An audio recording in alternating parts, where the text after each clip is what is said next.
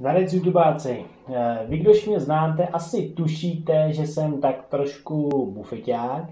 Dokonce si myslím, že bych mohl natočit reality show Dumpster Diving a konkurovat tím Aleši Bejrovi a těm jeho bezdomovcům. Ne, dělám si prdel. Občas něco zachráním, ale zase tak hrozně na tom nejsem.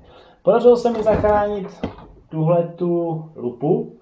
Jak vidíte, ta lupa vyhořela. To je z práce, jo, takže žádný noční dumpster diving nebyl, nebojte.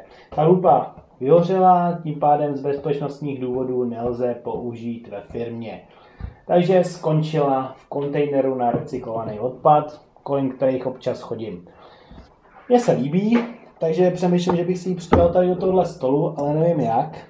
Ten stůl už má taky nejlepší za sebou. Asi možná provrtám tu nohu až na skrz a narvu to tam dovnitř.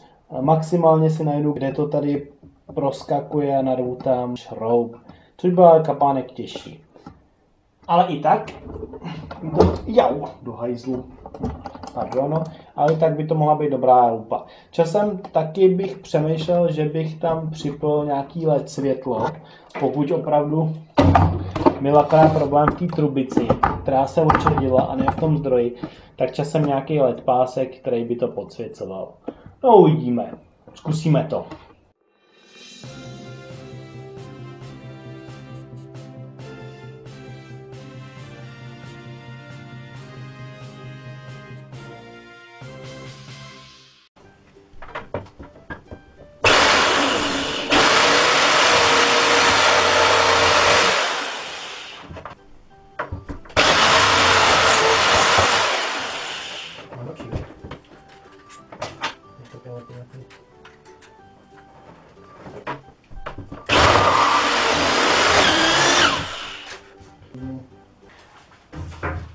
Tak jsem to nakonec vyřešil, vyvrtal jsem tam díru ještě větším vrtákem, než jste viděli na videu. A v podstatě jsem tam celý, celý zasunul.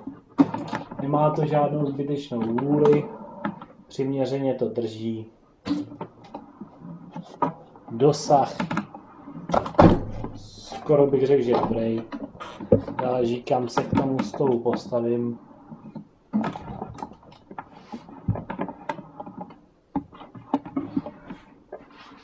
Výsledek si myslím, že dobrý.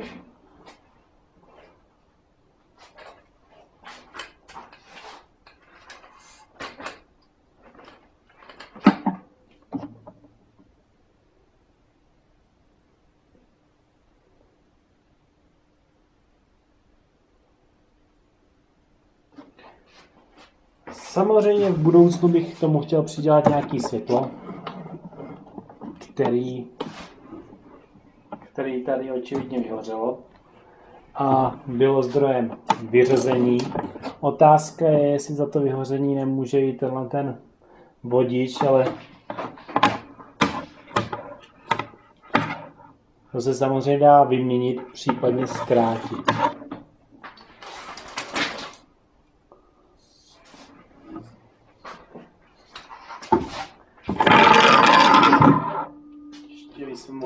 syp porównanisko.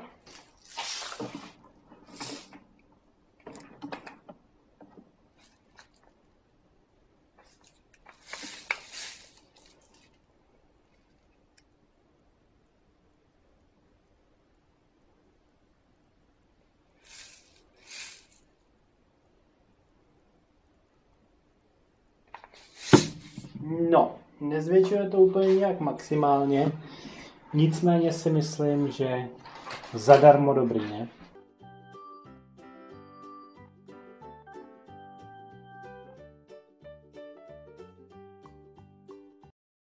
Takže jo, eh, jsme u konce. Já bych vám chtěl poděkovat, že jste video dokoukali až do konce a zároveň bych chtěl říct, že ačkoliv si myslím, že na eh, takzvané filozofii života bez smetí něco je, tak samozřejmě každý to máme nastavený trošku jinak.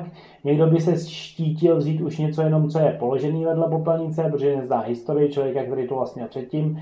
Někdo samozřejmě, někomu samozřejmě nevadí potápění se do popelnic, čili tzv. dumpster mining.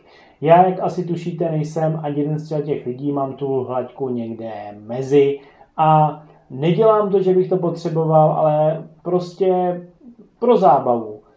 Jak už asi víte, můj kanál je částečně postaven na takzvaném urban miningu, což recyklace v podstatě je a mě to baví. Takže proti gustu žádný disputát. Takže díky za zhlédnutí. Pokud máte nějakou vtipnou historku, co se vám podařilo zachránit od popelnic, tak to klidně napište do komentářů, sdílejte, lajkujte, komentujte, ale hlavně, hlavně se mějte super.